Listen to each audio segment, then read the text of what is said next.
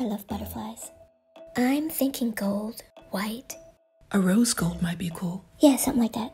I'd like to show off my modeling and, um, of course, my singing. Maybe some of my music videos? What do you think? I believe that the music artists that get the most attention are the ones that are most vulnerable, the ones that have opinions, express their opinions, and that advocate for things that they really care about, the ones that are able to demonstrate their talent on their website and on social media. But you know what I think is most important? When an artist incorporates their personality and their personal touch into their brand.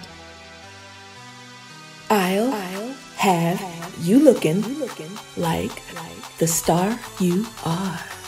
Yeah, I can do that. Good. Send me your pics.